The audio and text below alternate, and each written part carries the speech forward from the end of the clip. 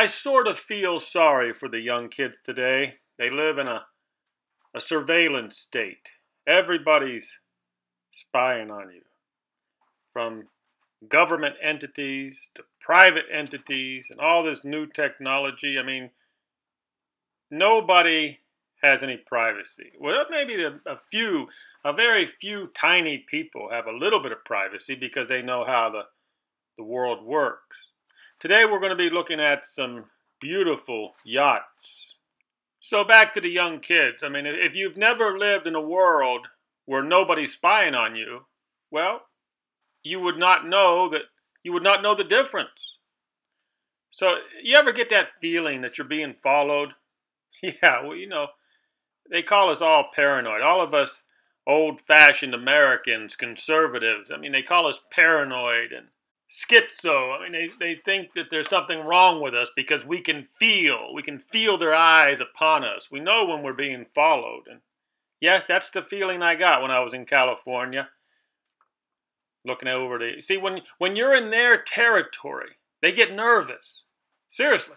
They, they watch us all the time. That's kind of what we're going to be talking about today, especially if you're somebody like me who's out there on social media and I tell people my opinions and yes, my opinions are very strong. And they, they, they don't like it. They, they want you to go to work, that little job you have. Keep your mouth shut, clock in, clock out, but basically keep that big trap shut and just do as you're told.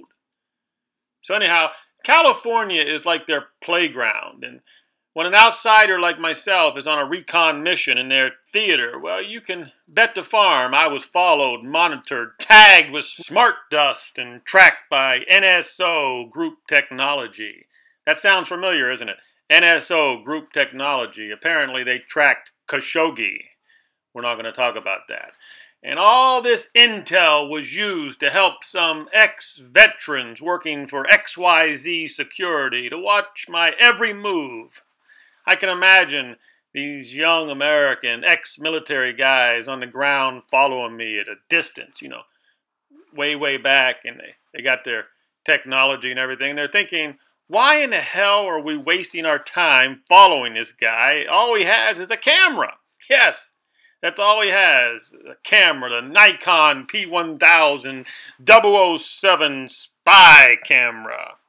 Well, this might be a good time to take a quick break to thank our wonderful, amazing sponsor, for without his immense and generous contribution, this amazing video would not be possible. Here, here!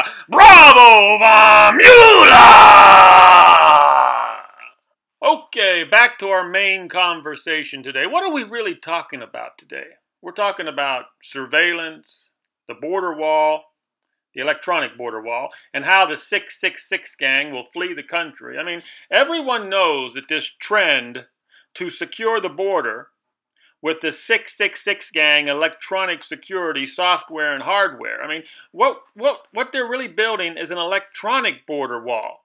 And Donald Trump's job is to sell it to you. We all know where this uh, technology is coming from. And I can tell you it's not coming from America. The military will be used in high profile areas as a deterrent. And they but here's the thing, the 666 gang knows that this system that we live in is getting long in the tooth. And all they have to do with a little push, just a little tiny shove, they can push this corrupt system over the edge at any time they want. So you got to understand, they can do it any time. They're just waiting for the right time. Of course, that time is when the electronic border wall is complete on the border. So it will be very difficult for anybody to get in or out.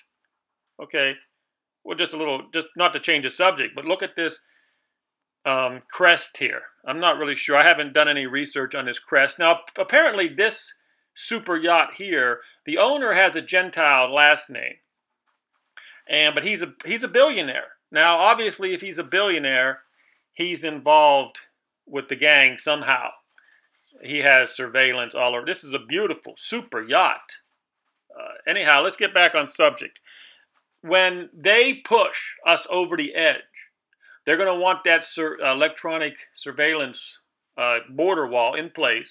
They're going to want to be able to ha- be confident that they can ring off the big cities. You see, when when the shit hits the fan and the chaos ensues, they're going to most of it's going to be in the big cities. They're going to ring off that city, you know, with the National Guard, military, and all that stuff. Think of the collapse that's coming as an engineered virus, but every virus has an antidote. Yes, and the 666 gang has more than one antidote, and you're looking at one of the antidotes. I mean, you're not going to want to be in the big cities when the shit hits the fan. No, you and I are not going to be able to get in and out easily, but oh, how sweet it is to have wealth, privilege, and power. So, of course, the super yachts will be used to get the 666 gang, their friends, and any paying customer in and out of the country in luxury and style.